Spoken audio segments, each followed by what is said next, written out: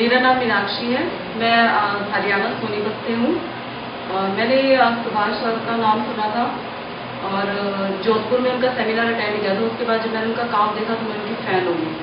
और मैंने काफ़ी जगह सीखा हुआ है मेकअप लेकिन अभी तक मुझे बेसिक भी क्लियर नहीं हुआ था। और सर के पास सीखने के बाद मुझे बेसिक टू एडवांस पूरा क्लियर हुआ है और बहुत अच्छे से कराते हैं। अपने प्रोफेशन के लिए, अपने स्टूडेंट्स के लिए बहुत डिवोटेड है।